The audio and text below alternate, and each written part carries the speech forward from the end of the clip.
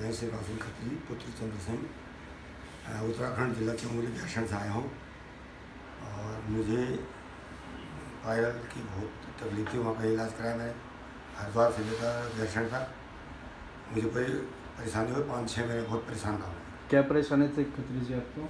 मुझे सब ये बाथरूम होते समय जो है लैट्रिन करते समय बहुत दर्द होता भयंकर। और वो पाँच छः घंटे तक चलन रहती थी बिल्कुल। तो यहाँ के बारे में कैसे पता चला आपको?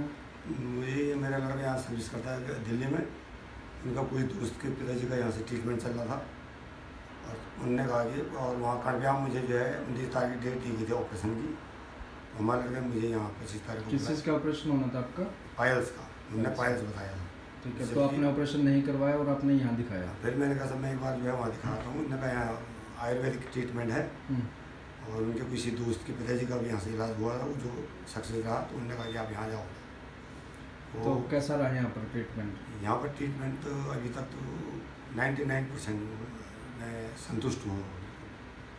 तो अभी कोई प्रॉब्लम है आपको?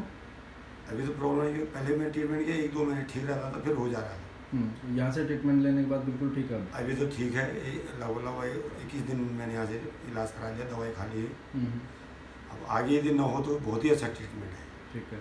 और बाकी लोगों को क्या मैसेज देना चाहेंगे आप? मैं ये वैसे देना चाहूँगा कि अन्य डॉक्टरों की झांसे में ना कर जो ऑपरेशन की सलाह देते हैं ये आयुर्वेदिक से ही इलाज कराएँ तो सब तो बढ़िया बेहतर है। ठीक है बाकी डॉक्टर सिंह के बारे में कुछ कहना चाहें? सिंह साहब के डॉक्टर सब इनका तो बहुत ही अच्छा ट्रीटमेंट और बहुत ही अच्छी डायग्नोसिस है मतलब बड़ा पेशेंट को बड़े उससे देखते हैं। पेशेंट को संतुष्ट करके भेजते हैं ठीक है।